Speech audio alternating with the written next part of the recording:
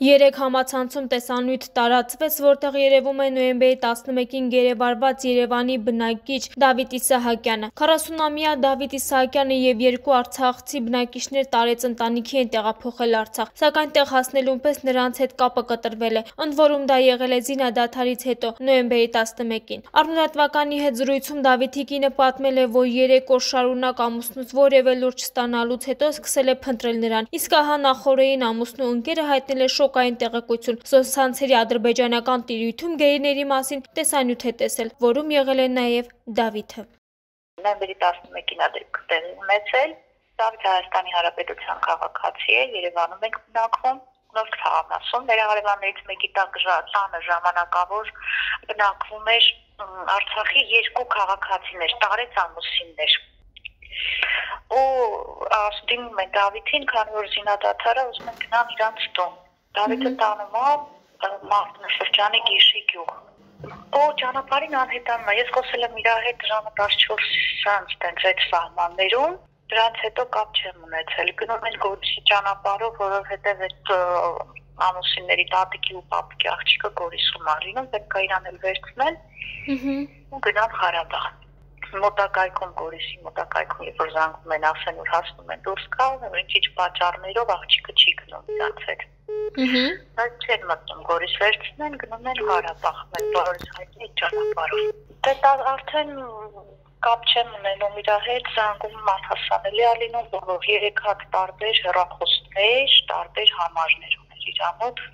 բոլորն էլ անհասանելի են։ Իսկ տատիկն ու պապիկը տատիկն ու պապիկն էլ չկան, նրանք էլ են, նրանք հեռախոս չունեն իրենց մոտ, Դավիթի հեռախոսով էին կապում հարազատների հետ նրանք էլ չկան։ Նրանց էլ պետքա դիմավորեր թորնիկը իրանց, անցնում է 24 հաջորդ 3-րդ 3-րդ օրը էլի իմանում ենք, որ դեռ տեղ չեն հասել։ Ես էստեղից եմ փնտրում, իրանք էլ ընդեղից են փնտրում։ Իսկ ումից իմացաք, որ Ներին դիմում ենք, բոլորն էլ ասեն, հետախուզման մեջ են այդ համարներով մեքենա։ Չեն տեսնում, այդ կարելի նկարագրության մարդ չեն տեսել ոչ ոք։ Ինչ ումից իմացա։ Կարմիր խաչ դիմել ենք այն ժամանակ որպես կորած, այսինքն որ չգիտենք ուրա կամ որտեղից ինչ, արդեն չենք իմանում։ Կարմիր խաչ փնտրելու համար ուղղակի բարձր մակարդակը վարդիները փնտրում էին արդեն բոլոր տեղերը տված էր պետհամարանիշները ամսնագրի պատճեն եւ այլն փնտրում էինք մինչեւ այդ վիդեոյի հայտ կարը դե ես չեմ գտել վիդեոն գտել են ամուսնուս ընկերներից մեկը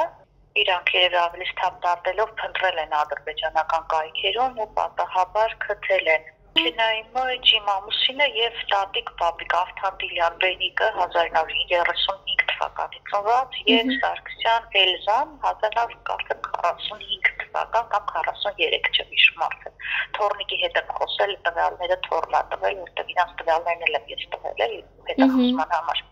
Ժանա ջան, հիմա ինչ ակնկալիքներ ունեք, ինչ գործողություն, ինչ քայլերի եք պատրաստում դիմել։ Դե բոլոր քայլերին արդեն, արդեն դիմել եմ։ Ահա անհապաղ դիմել են բոլոր քայլերին, որ ապահովեն նրանց անվտանգությունը։ Փաստորեն նրանք գերիներ են արդեն Ադրբեջանում, որ ապահովեն անվտանգությունը ես ունեմ այն ինչ որ ես ունեմ տվյալները երբ ատանից դուրս եկել եւ այլն անհետացել են եւ ունեմ այդ վիդեոն որ նպարապացուցեր շարժերինական այդ Facebook-յան կայքերից մեկում որ իրանք գերի են ու եթարկվում են այդ կոշտանգումների հակոստը հակու կապը շորը իրանց իրանը կոնկրետ Դավիթինը իրանը չի գույքը արգրաված